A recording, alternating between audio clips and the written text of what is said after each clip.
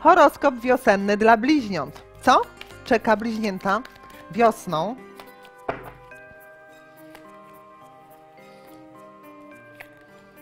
Pod kątem życia uczuciowego bliźnięta będą y, w sumie stabilne, tak? Y, Karty zaznaczają, że będą też y, troszeczkę zastanawiały się, czy nie wejść w jakiś romans.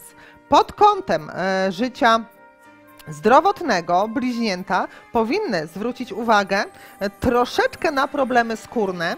Karty pokazują również, że powinny e, pić więcej wody, powinny też więcej wypoczywać.